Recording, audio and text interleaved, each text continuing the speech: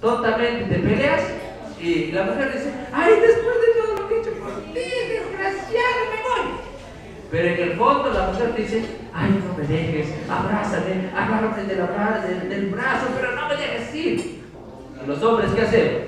Ah, si quieres, lárgate, pues me voy y, me dejas ir. No, no seas así, varón. Si la mujer te dice, si haces su berrinche, ay, este que el otro, me voy, te está diciendo psicológicamente, no me dejes, sin ti no puedo vivir, quiero que me abraces, sentir tu fuerza. Eso te está diciendo. Pero el varón que hace, ay, lárgate, ¿no? Así son. Después, ¿qué pasa? ¿Acaso estás tranquilo? A ver, ¿quién de ustedes después de haberse peleado con la persona que, que ama, duerme bien? Nadie. ¿Por qué? Porque cuando tú estás enamorado, disminuye la serotonina. Por si acaso, la serotonina, ¿qué regula? Estado de ánimo, apetito, temperatura, sueño. No solo eso, también tienes pues disminución de dopamina. Entonces, cuando tú te peleas con alguien que tú amas, estás durmiendo, a ver si no te ha pasado, estás durmiendo y estás pensando, ¿pero por qué? ¿Cuánto?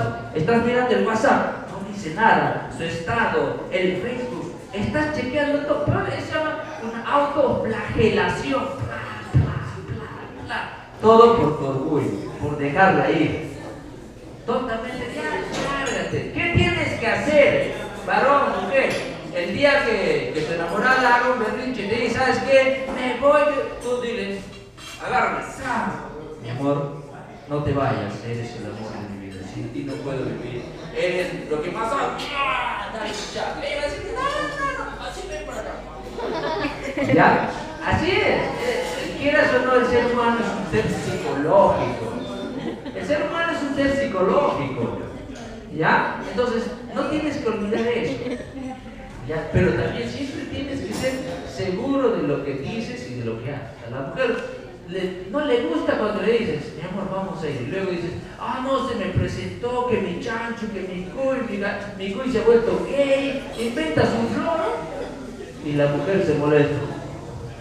Desgraciado, maldición. Se transforma en serio en ese momento. Tiene que tener mucho cuidado con eso. ¿Ya? Y a los jóvenes hoy día se les ve por las calles bailando. Yo recuerdo cuando estaba en la universidad pasaba lo mismo, ¿no? Tú veías a, yo recuerdo pues dentro de la universidad traían pues su, tipo su buffer, estabas ahí y empezaban a bailar, ¿no? Y un día un, un compañero decía, yo no sé bailar, yo no sé bailar, no me gusta bailar. Dentro de la conversación y todo, mi compañero que decía que no le gusta bailar, un día empieza a hacer. ¿qué estás haciendo? Empieza a moverse. Y le dice, ¿qué haces? Oye, ¿no es el paso de Michael Jackson? No, es que he pisado caca. Entonces, a veces pasa, co- cosas de la vida, ¿no? Pasa y, y- y uno pues no sabe qué te espera. ¿Ya? Entonces, cuando yo salí de la universidad, bueno, antes de salir también, ¿no? Este, recuerdo, eh, cuando terminé el colegio, recuerdo que un profesor decía, la sociedad funciona con argolla, con vara, y, yo no entendía, y mis compañeros nos preguntaban, ¿cómo se funciona con argolla y con vara? Si quieres que todo te vaya bien, tienes que tener tu argolla y tu vara, decía. ¿Cómo es eso? Ah, ya. Entonces, a mi amigo se le ocurre, terminó la secundaria, se le ocurre ir a Lima, pues, cargar su argolla. ¿Y por qué? Porque él había entendido, ya, pero el profesor no le había dicho qué significa eso, es el problema. Entonces él había entendido que la, que la sociedad se funciona con vara y argolla. Pasa pues que se va a buscar un trabajo, se va a buscar un trabajo al Ministerio Público. Y él va pues a exigir que le demos trabajo porque él estaba con su argolla. El, y el personal que atendía le decía, joven, ¿qué pasa? ¿Por qué usted, nos exige algo? Es que todo funciona con argolla. A mí me debe todo bien porque yo tengo mis argollas, argolla por aquí. Estaba bien argollado. Pero lo que él no había entendido es que no se trataba de eso. Joven, Usted está allá, lo sacaron fuera. Lo sacaron afuera, llegó a Huánuco y, le dijo, profesor, usted es mentiroso. ¿Por qué? Usted me dice que todo funciona con argolla y con vara. He ido a Lima, argolla y la vara no me sirve para nada. Todos me han choteado por gusto esto. Y, dentro de, qué hacer, a, a, este profesor no le gustaba pues este, eh, muchos papeleos, dice. No era muy papeluchero, decía él. Pero el alumno siempre aprende, pues, ¿no? Desde el profesor. Y pasa, pues, que ya este, este creció eh, y le pidió, pues, este, porque le pidió prestado al profesor, ¿no? y le, suplicó, le rogó y le dijo, profesor, por favor, preste mil soles, yo le voy a pagar. Y, ¿no? y, y el profesor pues, le prestó así, por así, y este, pasaron los meses y no le pagaba, y el profesor va a buscar, oye, Patroclo, ¿por qué este, no has venido a pagar? Yo confiado en ti. Es que no tengo plata, profesor. Ah, no tienes que pagarme, profesor Asado. Pero, ¿por qué, profesor? Usted me enseñó, me enseñó colegio, yo recuerdo, ¿ya? Cuando que en el mundo todo funciona con papel. Entonces, yo le pregunto, le, dice al profesor, profesor, eh, ¿yo he firmado un documento? No. ¿He puesto mi huella digital? Tampoco. ¿Hay testigos? Tampoco. Entonces, profesor, no le debo nada. ¿Pero por qué? Porque usted nos enseñó que papelito manda y yo no tengo ningún papelito. ¿Ya? Entonces, a veces hay que tener cuidado que enseñamos, ¿no? Porque los jóvenes, los niños, aprenden por imitación. Imitación, convivencia y socialización. ¿Qué pasa si tú caminas pues así? Tu hijo va a aprender lo mismo por imitación, va a ver que tú caminas así. Y el hijo aprende.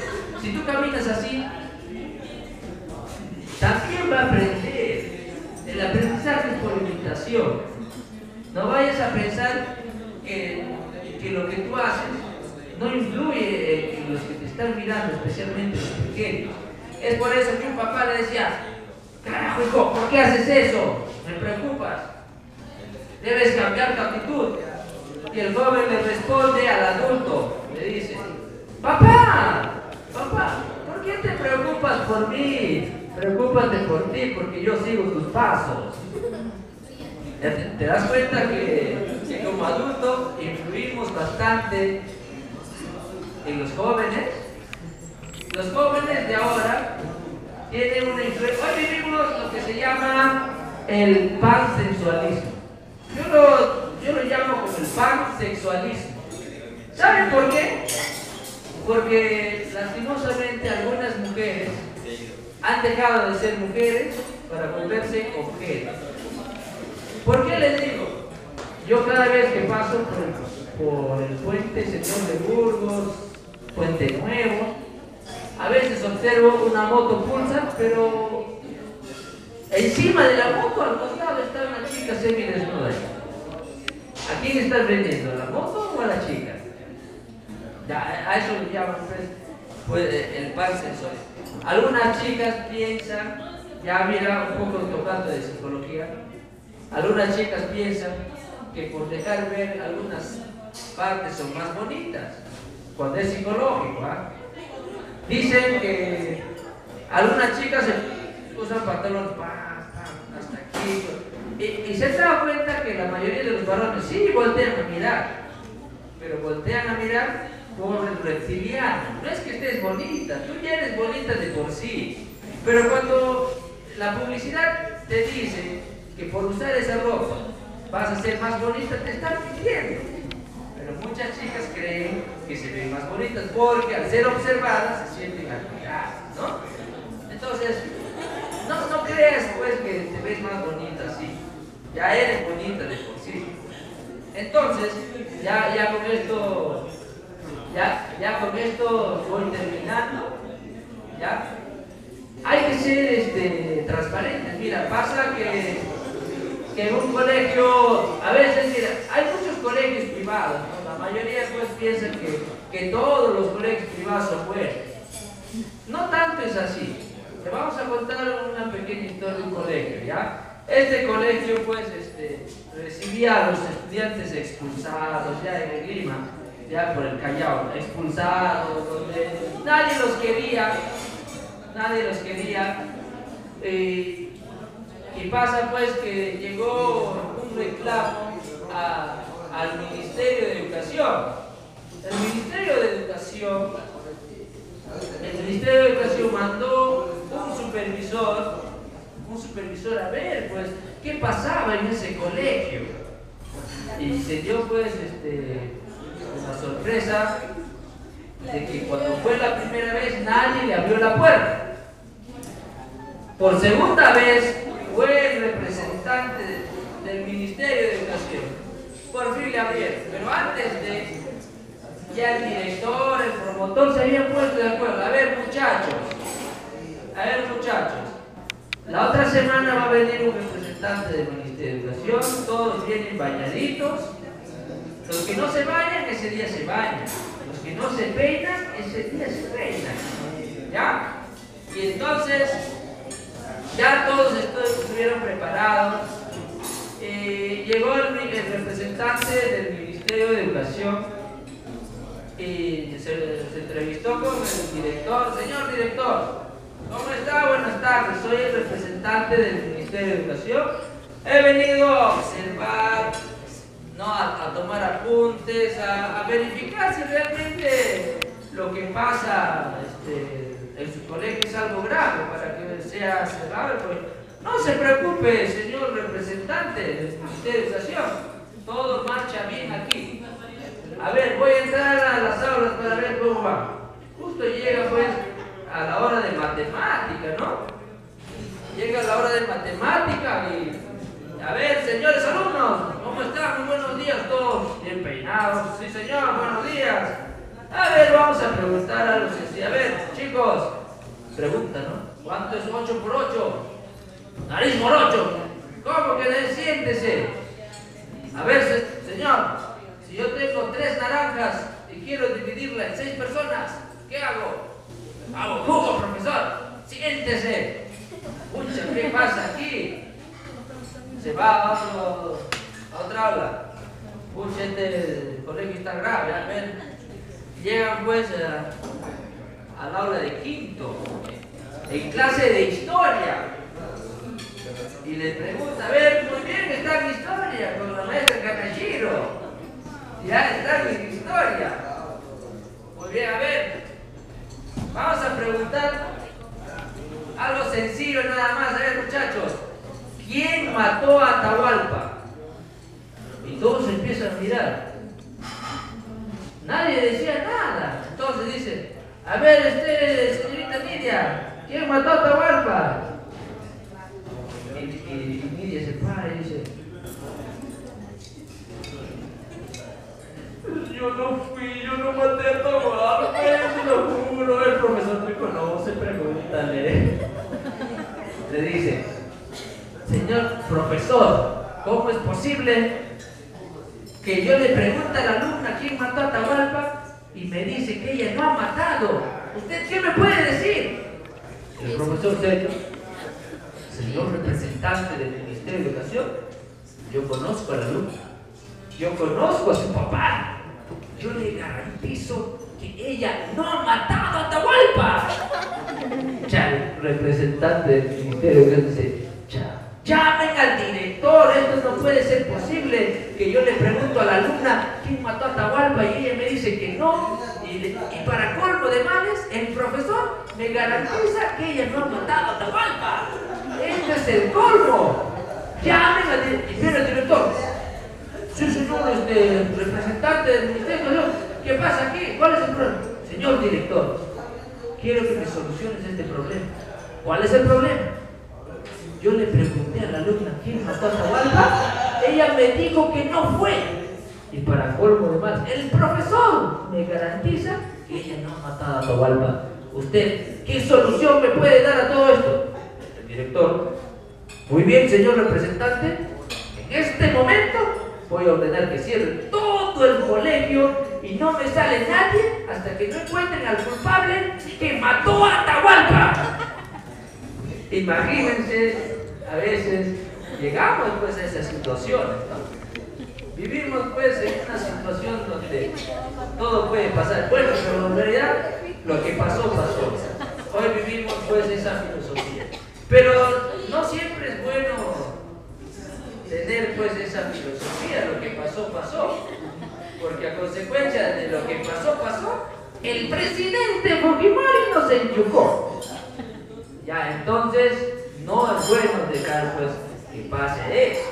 ¿Se acuerdan pues cuando Toledo llega por primera vez? llega más o menos así, era su de Toledo. Yo estaba en el colegio, recuerdo, les decía. Queridos compatriotas peruanos, vamos a poner al Perú a trabajar. Vamos a crear pequeños microempresarios. Vamos a hacer del Perú un país grande. Vamos a desaparecer a todos los pobres del Perú. Al primer pobre que veamos lo vamos a fusilar. Entonces pasa que, que hemos tenido que los presidentes nos fusilan, pero de hambre. ¿Ya? Entonces, algunas este, invitaciones como para recordar eh, un poco de, de lo que hemos vivido. A ver si adivinan, ¿ya? A ver, ¿se, se acuerdan esta voz? Allora, praticamente io non andavo dopo un me bikini nel fondo. Ya, eh, a ver, ¿quién es? Cerebro, ¿qué vamos a hacer esta noche? Tratar de conquistar el mundo pequeño. A ver, este, una más, pues, a ver, ah, quizás muchos en su infancia han, han este, escuchado antes, no hacen escuchar las que tienen chiquito. Ah, Una canción de Barbie. Uh, hola, Barbie, yo soy tu amigo Barbie. Oh, te quiero yo. Eso tienes que decirle a la persona que está a tu lado. Y tú a mí. Pero ¿cómo sabes que ella a ti? O si no, pues este. Hola, amiguitos. Estamos en el rompecabezas. Oxero, ¿dónde está Brown? Ya, entonces más o menos estoy recordando de lo que hacía antes, ¿no? De lo que pasaba, pues. eh, todos se han visto Goku, ¿no? Han visto Goku cuando llegó, pues, este, la saga de Majin Buu. Y aparece, pues, un personaje, a ver, muy curioso. El grupo decía. Majin Buu, acaba con esos granitos. Acaba con todo. ¿Se acuerdan de esa voz? ¿O se acuerdan cuando, cuando llegó pues el androide más fuerte, ¿no? Y Vegeta pues le da, este, agarra y lo derrota. ¿Se acuerdan? ¿Cómo se llama? 18. Vivi. Vivi. No. ¡Maldición! Todos están comiendo. Ya, entonces, con eso este, termino y agradezco han escuchado y nos vemos quizás en otro momento. Muchas gracias, hasta luego.